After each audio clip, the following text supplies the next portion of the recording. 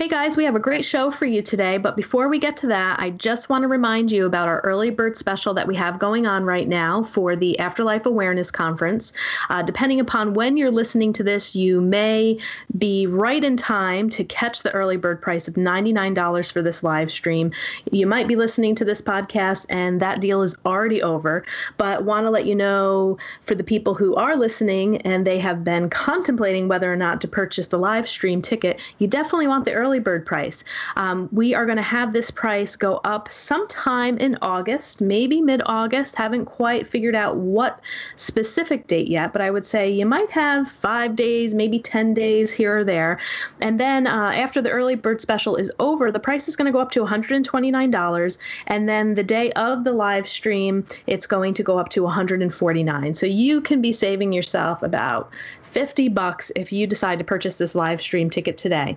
And the way to get that ticket is to go to our website, path11productions.com. You'll see right on the homepage a big, nice red banner. You can click there. It will take you to the Afterlife Conference uh, live stream ticket. You can take a look at the schedule, or you can just type in path11productions.com slash AC 2018. So obviously that stands for Afterlife Conference 2018. Pretty easy to remember. So I hope you guys head on over there. It's going to be a great time. We're so excited to go down there and film over 25 hours of content. The $99 price is a steal. I don't think you're going to find another live stream giving you that many hours of coverage at that price. People said, You're crazy. You're crazy giving it away. You're basically giving it away for free. So head on over there, path11productions.com slash AC 2018 and purchase your ticket today and thanks for tuning in to the Path 11 podcast. I am your host, April Hanna.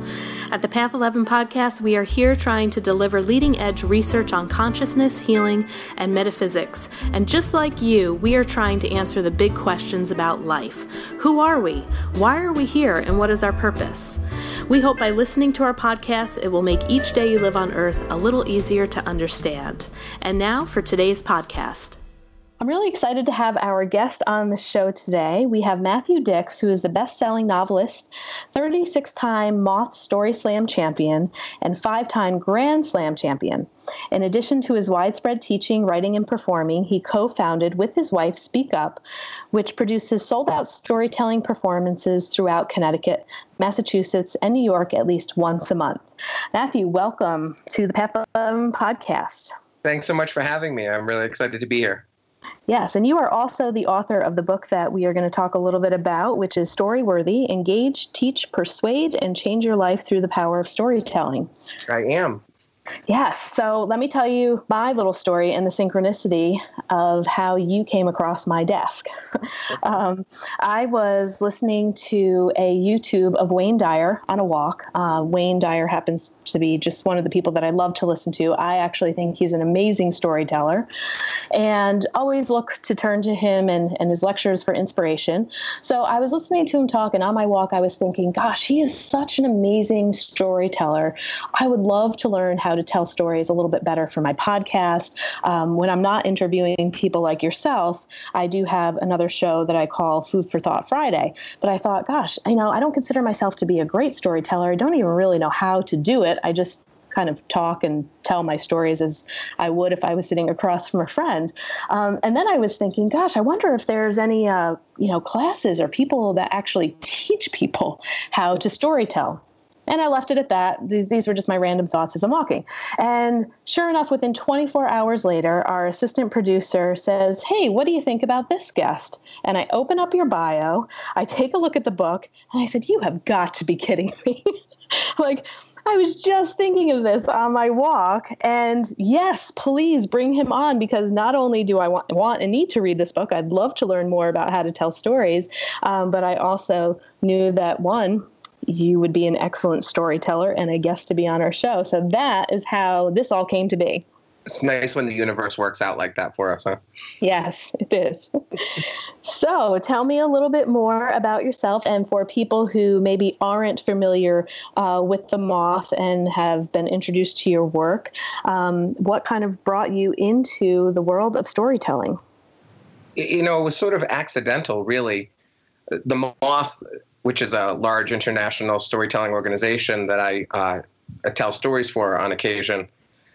They produced a podcast, and I think they started back in 2009. And I started listening, and I loved it. I loved listening to people share their stories, and my friends started listening. And my friends told me you should go to New York and compete in one of these story slams because you've had the worst life of anyone we know. So you'll definitely be good on stage. and um, you know, it's a terrible thing to say to a human being, and it's not entirely true. But I've had one of those unusual lives. You know, um, twice in my life, I have stopped breathing and my heart has stopped beating, and paramedics have saved my life. And I was arrested and tried for a crime I didn't commit, and I was homeless for a period in my life, and that's just like the the tip of the iceberg of nonsense that really is my life. And so I told them I would go, and then I really had no intention of actually doing it. It terrified me. And eventually I stewed in shame for about a year and finally agreed to go tell one story once and then never do it again. And so I went to New York. I dropped my name in the hat. I, there's about usually 20 to 30 names in a hat on a given night, and only 10 of those people get drawn out to tell a story. So, uh, to be honest, I was hoping they didn't pull my name. I thought I could go home and say I tried, and maybe everyone would leave me alone. But they pulled my name last, and uh, I grudgingly got on stage. Actually, my wife forced me to get on stage. And then I told a story, and I, I won that slam. So I was the jerk who got to win his first competition. And that sort of launched the career. I hated every moment of that night until I began speaking into the microphone. And then all the fear and all the dread went away. And I just loved the time that I was standing in front of that microphone speaking to people. And what were you doing before that? I mean, did you have a different type of job or in a different line of work? Well, I've been teaching elementary school for the last 20 years. So I was doing that then and doing it now. And I'm also a novelist. So back then I had published two novels already. So I was sort of working in the world of story to a degree. I also own a wedding DJ company. So for the last 20 years, I was standing in front of wedding guests, speaking extemporaneously, not telling stories, but just sort of getting used to standing in front of bunches of people. So, you know, in a lot of ways, those jobs, you know, being a teacher and having the worst audience in the world, 10 year old kids, and uh, being a DJ and being a novelist, those skills sort of came together on the stage that night, I think. Yeah, I found those little bits um, of, of um, information that you shared about just those two things. Pretty interesting as being a podcaster about um, how you kind of learned through working with that DJ how to create like a tempo with your interview, how to cut in with the mic, how to lead your guest, um, and as a DJ would need to do to lead the bride through the you know the tossing of the bouquet you know to people. So i was like oh that's interesting. I've never never really thought about that before. And also maybe we could talk a little bit about the example that you gave how children tell stories and a lot of times they'll use the word and this and this and this and how you said one of the worst ways to tell a story is to use the word and it really is. And it's not only kids, if we're being honest. A lot of adults tell those stories as well. You know, an, an and story uh, you know, where things are just connecting, what those typically are, it's just a series of events. So often people think that a story is some stuff happened to me today, and I'm going to tell you what that stuff is. You know, the classic example is someone comes up and says, Let me tell you about my vacation. It turns out no one's actually wanted to hear the next sentence of that story ever in the history of the world. No one cares about your trip to the Bahamas. And typically, what it ends up being is a list of the itinerary of your vacation, and you insert food if it was especially good, even though it doesn't mean anything to anyone else because they're never going to taste it. So, so often we think of a story as this happened, and then this happened, and then this happened, when really a good story is a story that's going to be connected by words like but or therefore, words where something was happening, but then this happened, or something happened, therefore, here was the result. And that's really the difference between telling a story and just telling about stuff that happened in chronological order. Yeah, and you also give the great example about um, kind of your near-death experiences here and coming back to life when you know you stopped breathing. And we've had quite a few guests on our show. Um, our listeners really like to talk about, you know, is there a life after death? What's going on with consciousness and energy? Is there an afterlife? And But was was interesting when you mentioned in your book that that's really not the pivotal moment of what grabs people of a story is the fact that you've died twice. It's everything kind of before and after leading up is really what draws the listener in and makes them connect with you. Yeah, exactly. You really can't connect on a near death like situation. That's that's not something we're ever going to connect on if I tell you the story of the time I went through the windshield of my car and died on the side of the road, you've never had that experience, hopefully. And so you're not going to be able to sit there and say, Yes, I know exactly what you're talking about, Matt. Uh, it's also sort of, although it's unusual, you can turn on the news at 11 o'clock and see you know stories of car accidents and people surviving them and you know nearly dying in them so it's not terribly interesting in a lot of ways. It's interesting if you're if you're me or if you know me well, but otherwise it's just another car accident story or just another bee sting story where I, you know, I got stung by a bee when I didn't know I was allergic. And the other thing about those moments is the two times that I sort of died and was brought back to life, I didn't know I was dying. I just sort of closed my eyes and then I awoke and was told later that your heart stopped beating and I stopped breathing. So I can't really have a moment. I don't even know it's about to happen. So so I have to make those stories about something else. Right. And do you mind if I ask you a little bit more about that story, just because it is a topic that we do like to cover? And had, did those experiences at all uh, bring you to a different state of spiritual spirituality and overall connecting with like your purpose of why you're here? You know, I wish that I could say yes, but tragically, no. Uh, you know, I, both of those experiences sort of put into my mind the idea that death is a real possibility. They both happened to me when I was 12 and 17, so you you sort of feel invincible at those ages. And so the idea that there's a finite, you know, there's a finite length of time on this earth, that was firmly placed in my head. But it wasn't until I was 22, I was the victim of an armed robbery at a McDonald's that I was managing in Massachusetts.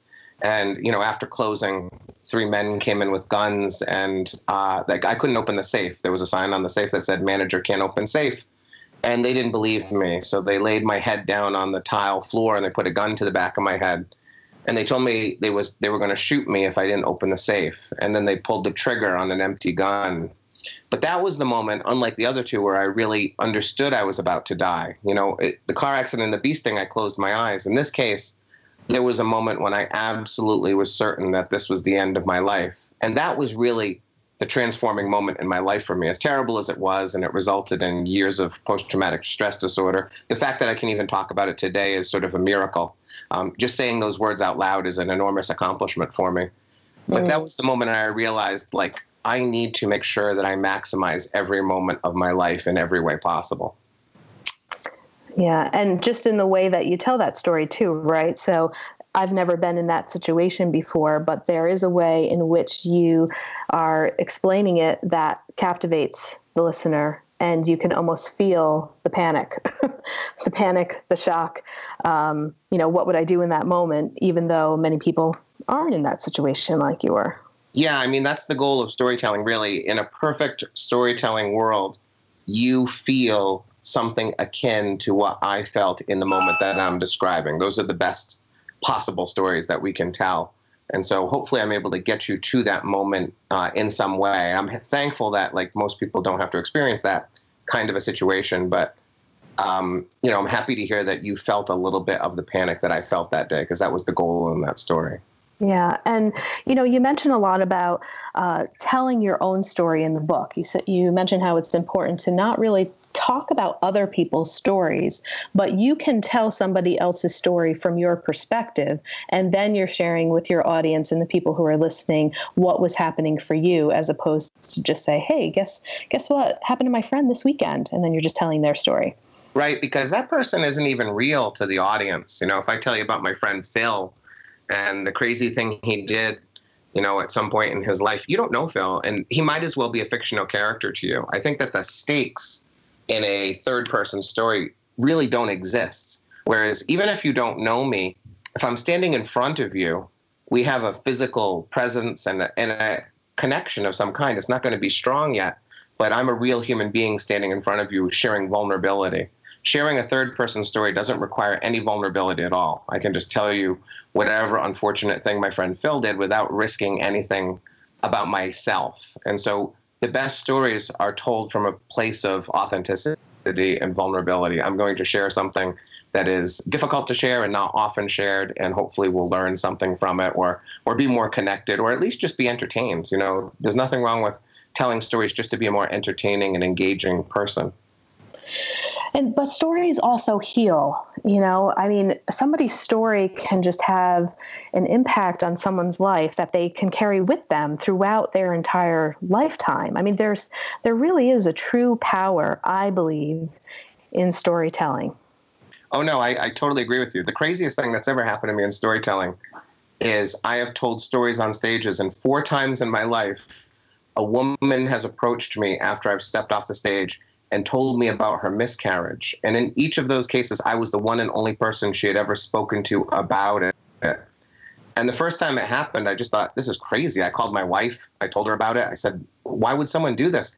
And from my wife, it made total sense. Now, she's had a miscarriage, and you know, she and I understand the unfortunate blame that so often women place upon themselves when there's a miscarriage. They wonder what they did wrong and was it their fault? And so often it's a hard thing to talk about. It's just not a thing that we talk about often in our society. And so I stand on a stage, I, I open my heart, I speak about something vulnerable that most people don't talk about. And then I become a safe person where they, you know, these women could unburden themselves a little bit of this thing that they've been carrying. And then they don't have to see me the next day, which is also great because it's hard to tell like a coworker your deep dark secret and then see them sitting in their cubicle the next day staring at you. But if you find a stranger who has an open heart, that can often really be a powerful thing. Yeah, and that reminds me of another person who I think is a phenomenal storyteller, who is um, Brene Brown, and she speaks a lot about the power of vulnerability. Writes a lot of books about it. Not sure if you're familiar with her work or not.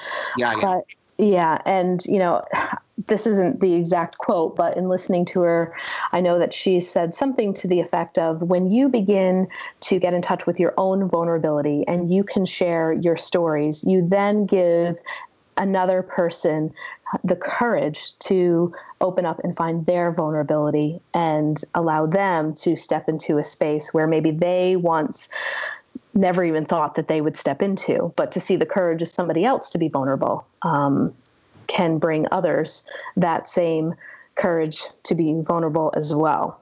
Yeah, it's so true. I mean, I am the I am the bearer of so many secrets from people who have told me, you know, things from their lives that they've never wanted to speak about until they hear me tell a story. And then when my wife and I are producing shows, quite often an audience member will be sitting in one of our shows and that audience member will hear six or seven people tell stories, and some of them will be deeply um, vulnerable and talk about things that don't often get talked about.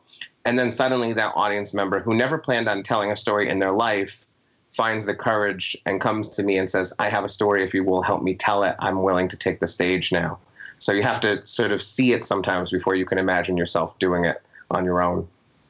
Well, and kind of staying on that topic of vulnerability, what would you say was one of your most vulnerable moments in telling a personal story that maybe kind of pushed you to your own edge uh, after kind of getting involved in all this? It probably was becoming second nature, but are you ch- do you challenge yourself to kind of bring yourself constantly to places of vulnerability? And if so, what would be one of the most vulnerable times, with the exception of the first story that you told um, of getting up there? But what what else has really kind of tested your vulnerability in telling stories about your life? I mean, the hardest story I ever told was that story of the robbery, and uh, stories. I have a couple other stories surrounding it.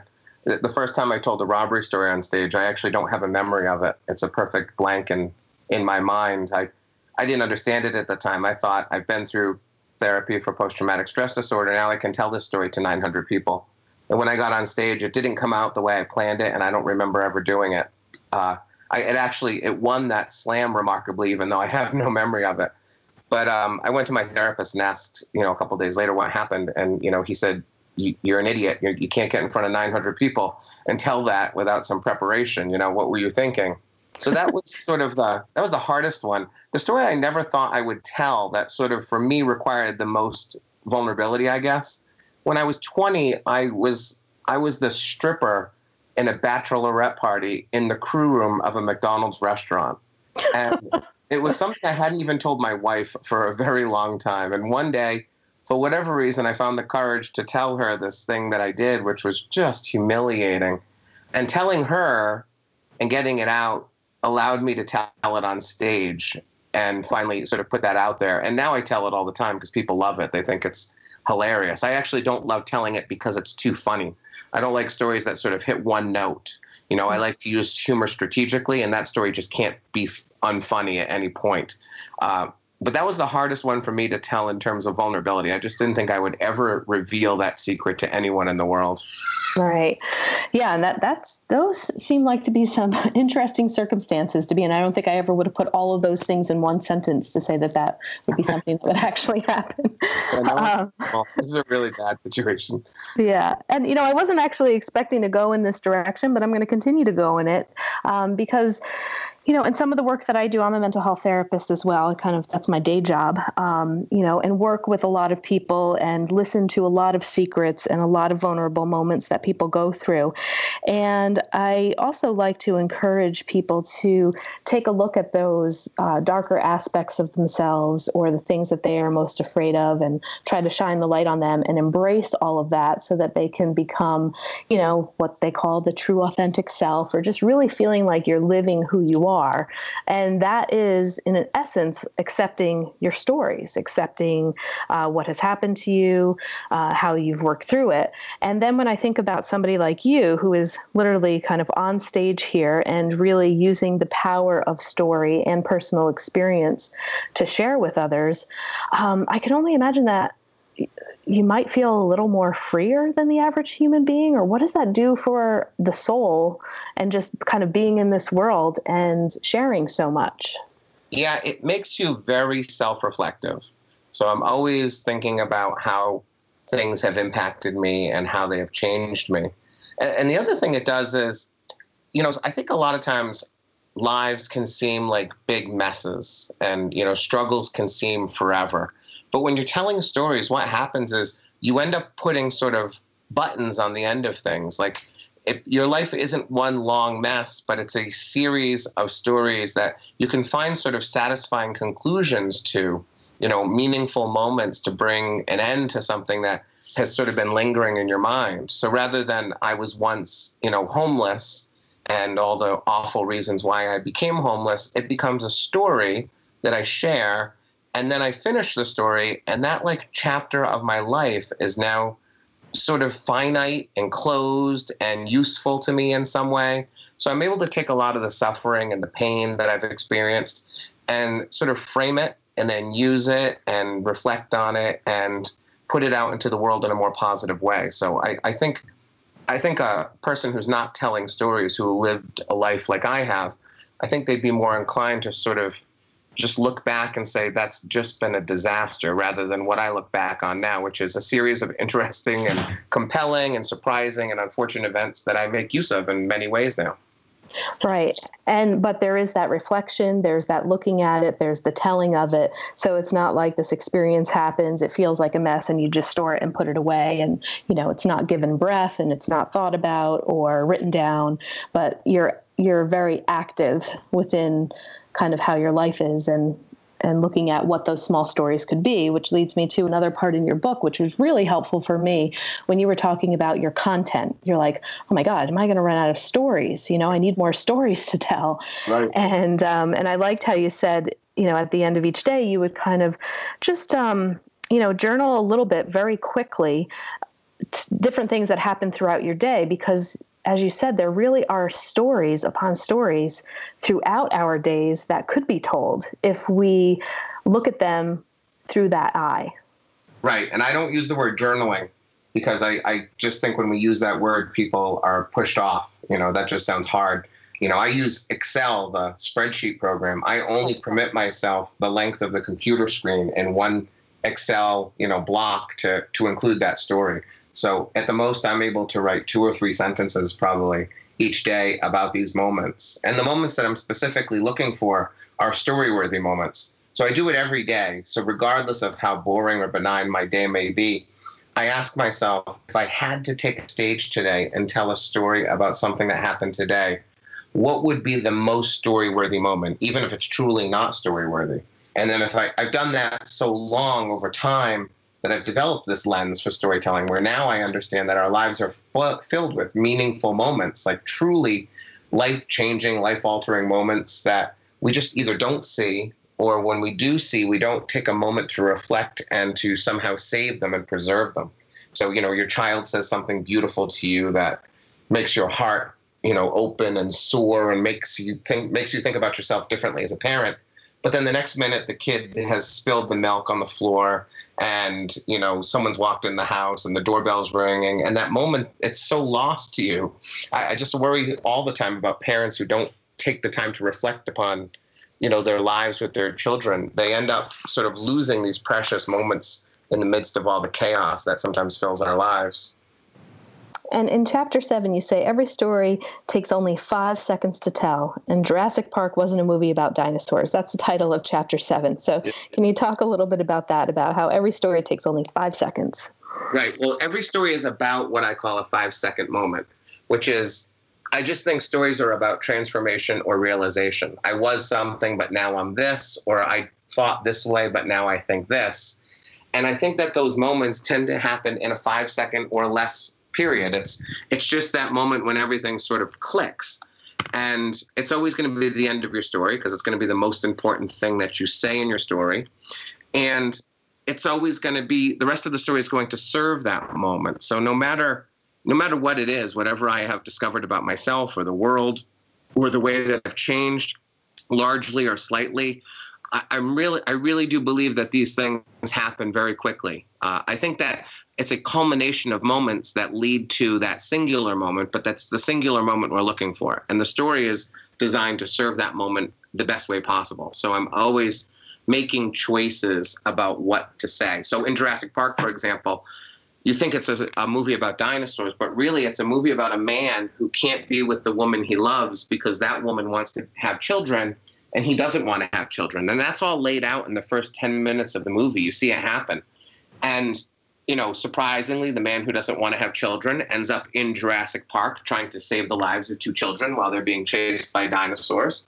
And if you watch the movie closely as it moves forward, that man gets closer and closer to those children, both physically and emotionally, until in the end of the movie, he's holding them in his arms, holding them as close as you can hold two children.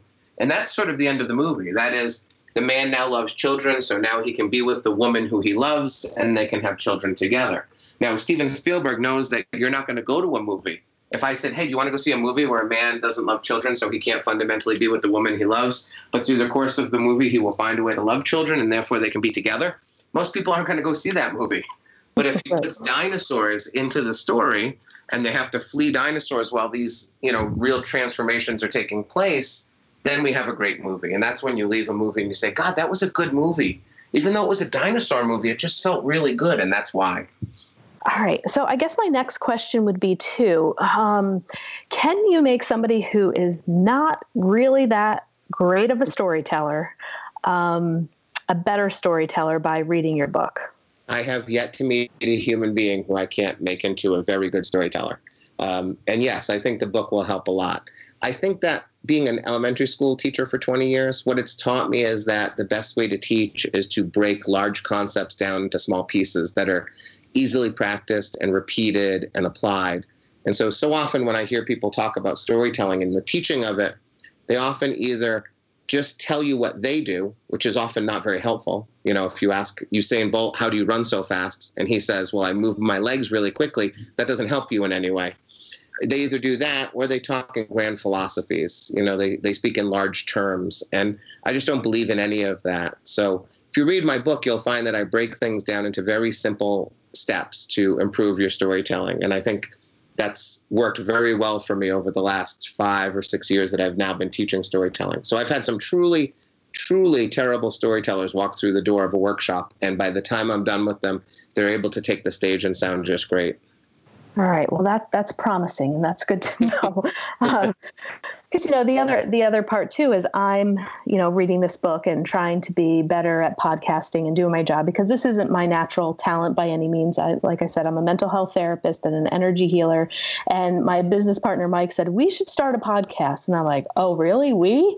And he's like well you know yeah you'd be pretty good at it. And i'm like oh my gosh i don't i don't know the first thing about podcasting you know but you know basically this is a skill that i've kind of had to learn what i am good at is I can pull stories out of people, right? Because that's basically what a mental health therapist does, right? We know the questions to ask, how to get the person to tell you their story, uh, knowing the right questions to ask to have them go deeper and give you more details. So that has been a skill that's been helpful with podcasting. But, you know, I do have a lot of life stories that I would like to share, but have been a little timid because I, you know, I just don't know quite how to go about and do that. So, in reading your book, there's a lot of quick takeaways, but then my other fear would be, but I don't want to overanalyze what I do because I am not one of those people that goes back and listen to any of my podcasts, which some say you should absolutely do, and that's wrong because then you're going to pick out your, you know, your ums and the certain words that you say all the time. But then I feel like I lose being naturally who I am, and then it almost would sound scripted or that I would be trying too hard. And you mentioned a few of those types of things in your book too, where you said if you look in the mirror to practice, stop looking in the mirror. You know, right. And I'm not I'm not one of those people. And you were like, if you're not one of those people, don't read it. And I'm like, well, I'm not. Gosh, I've never done that, but let me read and see what he says. Um, and, you know, you were talking about the rehearsing of it is like, that's not a great thing to do. So, how do we kind of take some of your suggestions in this book and try to improve our skills, but also not to the point where we almost become self conscious and then we lose being authentic to our audience? Right. I, I guess what I talk about is something in the book called the dinner test which is your story, no matter where you're telling it, on a stage, you know, in a lecture hall, in a classroom, or, or, or at dinner with someone, it should essentially be the sort of cousin of what you would tell, you know, your best friend at dinner tonight. Uh, and so that means you don't have to sort of gussy up your story to a great degree. You don't have to really um, you know, people who put alliteration into stories. They talk about the purple plums were particularly plentiful. You know, that, that's terrible. Like that doesn't, that never sounds right. I, I tell people to like just imagine telling a story to a friend. And what we're going to do is through the process of my book and my teaching that I do, we just make sure we add some craft so that it is um, easier to understand and possibly more suspenseful. And we're using some humor strategically, and we land in a really good place and we take off in a really good place. But ultimately, um, it's it's supposed to just be a story that you would tell at a dinner table, and maybe just a little more formal. And you shouldn't be afraid of the mistakes at all. My the director of the Moth, Catherine Burns, she once told me that the beauty of storytelling is in the mistakes because that tells us that the story isn't memorized or overly prepared, that we're really being honest and vulnerable when we're speaking. So I, I wouldn't worry as much about it as um, many people seem to worry about it. Yeah. Well, Matthew, thank you so much um, for being a guest. I loved the synchronicity of how this happened. And, you know, I was really just excited to read this and actually have a little bit of a training manual here. You, you said that you are actually teaching workshops on it as well, right? Yeah, I teach workshops, and we actually have a podcast now where um, we've been producing shows for five years and recording stories that all that time. And each week we air one of those stories, and then my wife and I talk about what's working really well in that story and what could be improved. So it's some it's entertaining, but it also provides a bit of instruction as well. So that can be helpful to you as well. Great. And what is the name of that podcast? Oh, right. I keep forgetting to tell people. My wife wants to kill me. It's um Speak Up Storytelling. Speak up storytelling. Okay. And how about your website if people wanted to actually come and take a workshop? Uh, that's matthewdicks.com, my name. And I teach um I teach lots of different workshops. I, I teach a beginner's workshop that's designed so you don't actually have to speak ever during the workshop because so many people want to sort of learn but they're not ready to share their full truth in front of strangers. So I have lots of different versions of workshops to accommodate whatever people need in terms of their development and where they are in their growth. Great. Well, I hope that this, um, you know, conversation helped some of our listeners, maybe who are podcasters themselves, or if they are doing storytelling in some way, or have a story that they want to tell, and they're trying to figure out a way to get it out. I would highly recommend Matthew's book. Again, it is Story Worthy: Engage, Teach, Persuade, and Change Your Life Through the Power of Storytelling. Thanks, Matthew. It was a pleasure to speak with you. Thank you. I really appreciate it. Have a great day. If you want more information about our films, visit our website, path11productions.com, to purchase DVDs or to rent and stream each film. You can also find our trilogy of films on iTunes, Amazon Prime, and Gaia.com. You can still use our smartphone app for both Android and iPhones. Just search for Path 11 in the Google Play App Store, or if on an iPhone, look for Path 11 in the iOS App Store. Catch you next time.